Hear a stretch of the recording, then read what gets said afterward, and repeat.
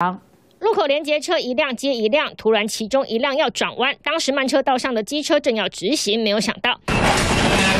真的是吓坏在场所有人，旁边的机车骑士赶紧跳下车，用牵的快速挪到了路边。而被连接车撞翻碾在车底的机车骑士是第一时间滚到马路上，脚一缩，没有被轮胎给碾过。目睹这个车祸，其他人赶快按喇叭要连接车刹车，别再前进。这起意外，大货车驾驶红灯右转，加上视线死角，撞翻了直行机车。还好六十四岁的骑士仅仅受到轻伤。不过马路上的惊险画面还有这一个：民众直击屏东林落路段，一辆白色修理车多次的急切车道，和前方车辆根本没有保持安全距离。不小心的话，会造成事故，非常危险。哎，不要造成自己的、大家的不方便了。车辆变换车道，应让直行车先行。